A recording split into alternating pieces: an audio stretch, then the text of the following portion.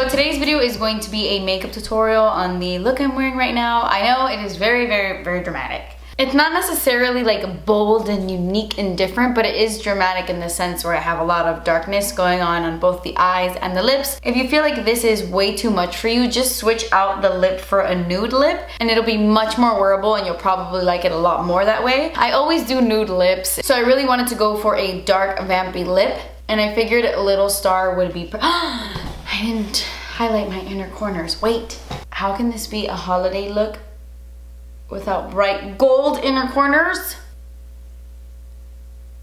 I have to refilm my intro. And I need to highlight my brow bone just a little bit. Forgot to do that as well.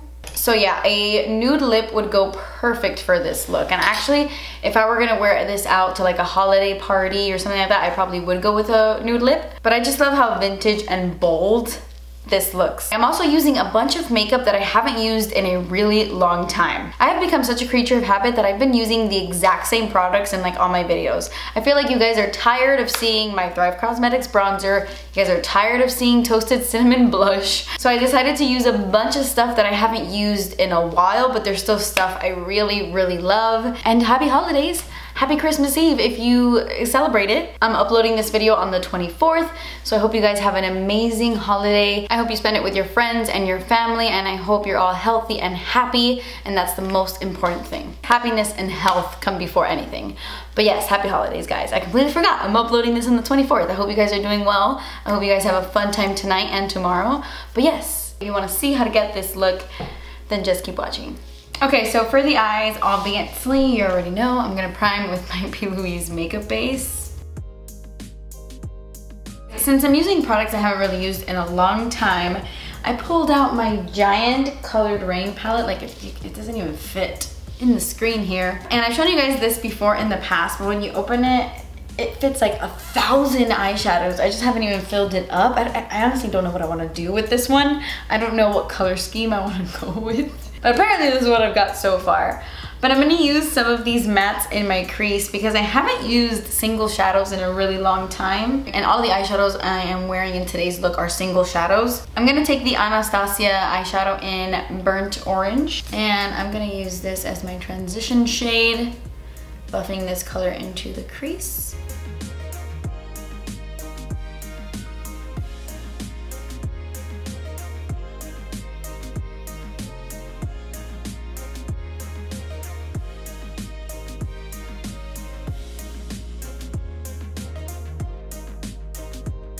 I usually drag my crease color out a bit and I start creating kind of like a like the illusion of a cat eye but for this look since I'm doing more of a halo eye I want it to be a little bit more rounded so I'm not really dragging the eyeshadow too far out on the outer corners.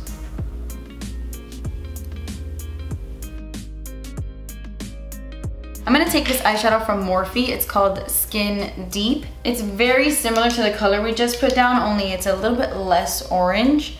So I'm just gonna put this directly in my crease. I just wanna add a little bit of dimension right in the crease.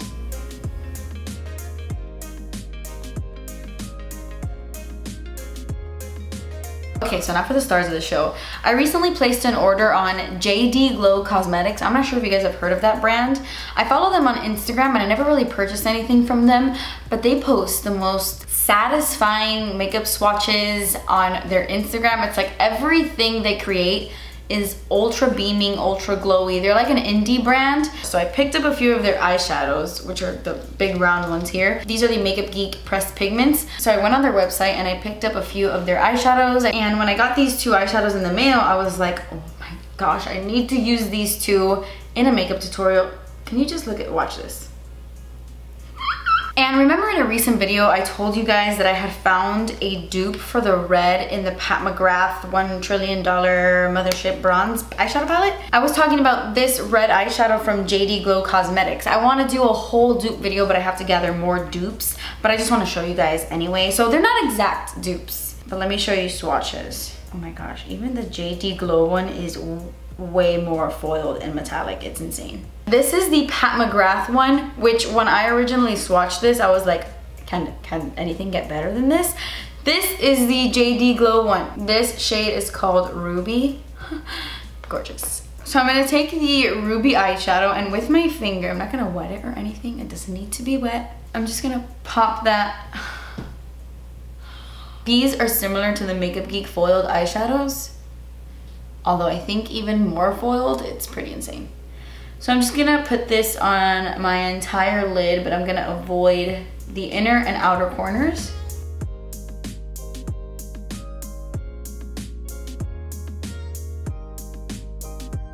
Now I'm gonna take a little bit of this color. This is Makeup Geek's Cocoa Bear. And on a very, very small little brush, this is the JH40 from Morphe. I'm going to blend that into my crease just a little bit. So we're gonna do this again in a second, but just kind of wanna add a guideline. Now I'm gonna take this JD Glow eyeshadow. This one's called Emerald. And I'm gonna do the exact same thing, only I'm focusing this on the outer corners and on the inner corners. It's gonna be like a green, red halo eye.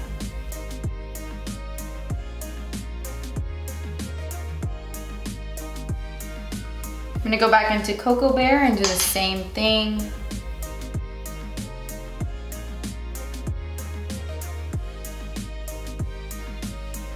This green isn't as foiled as the red one, especially when you layer it on top of the red one, it kind of loses its greenness. So I am gonna go back and forth with those two shades a couple times to really get my desired effect. And I am gonna add some Fix Plus to the green, just to make it a little bit more intense. Okay, so I'm gonna take this ColourPop concealer brush thing, doesn't have a name, and I'm gonna Fix Plus it up and I'm gonna apply this emerald shade again, just a little more intensely.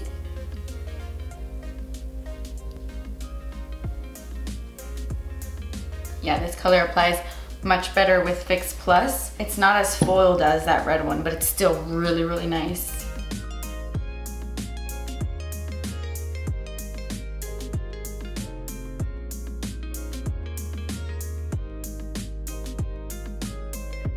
Go back into Cocoa Bear.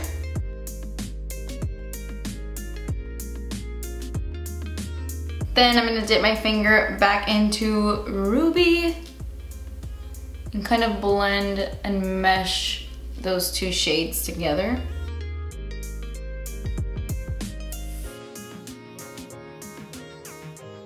Now I'm gonna take that first shade we used in the crease, Burnt Orange, and I'm gonna take a fluffy brush with no eyeshadow on it and just blend out those harsh lines in the crease.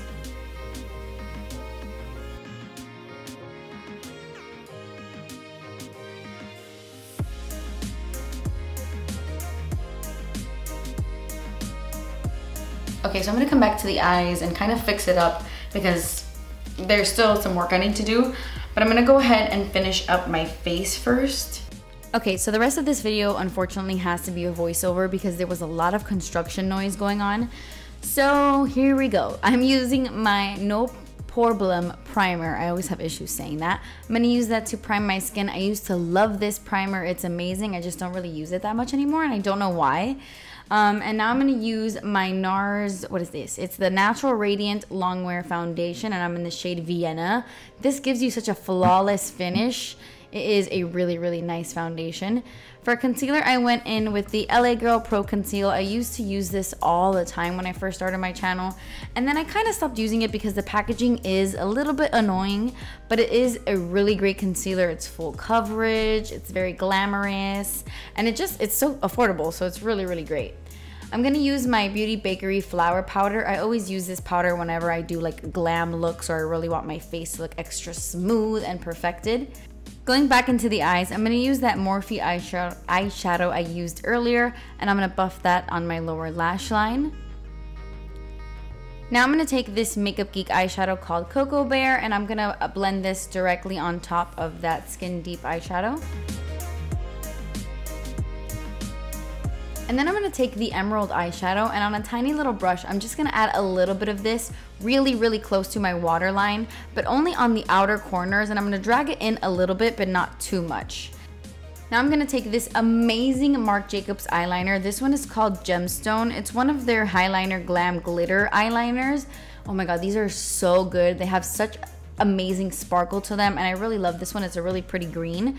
I'm gonna take a little bit of Makeup Geek's Cabin Fever eyeshadow just to add a little bit of depth right in my crease. It's barely noticeable, but it's gonna give it a little bit of something. And then after that, I'm just gonna go ahead and curl my lashes. This is the Shu Uemura eyelash curler. It's one of my favorites. I also really love the Tweezerman one.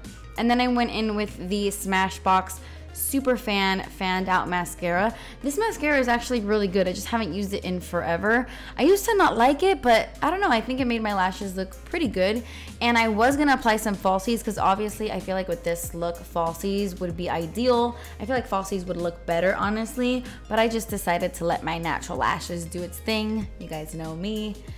It's very much more me. So I just went with my natural lash look. And now I'm gonna go ahead and finish up my face. I just contoured using my Kevyn Aucoin sculpting powder in the shade medium to really, you know, contour the cheekbones. And the forehead, of course. We can't forget to contour the forehead.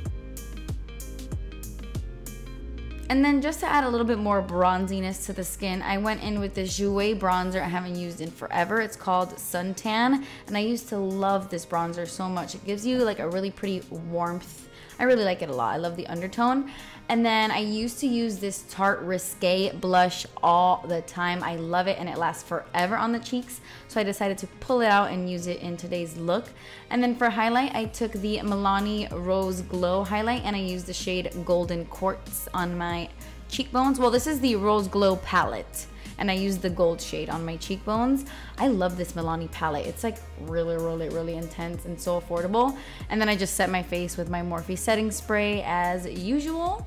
And then of course, to finish off this look, I went in with the ColourPop Ultra Matte Lip in Little Star, but please feel free to use a nude if this is way too bold for you. But yeah, live your life and do your thing. Okay guys, so that completes this video. I'm looking at myself in the viewfinder and I feel very 1920s, especially with this like dark lip. I wanted to do something that was really, really bold and that screamed Christmas. So I hope you guys enjoyed this video. I hope you guys enjoyed this look. Leave me a comment down below letting me know what you want to see from me next. Always leave me your requests. But yeah, that completes the video, like I said. Thank you guys so much for watching. I love you so, so much. Please subscribe if you haven't already and I will see you in my next video. Bye um, that I bought from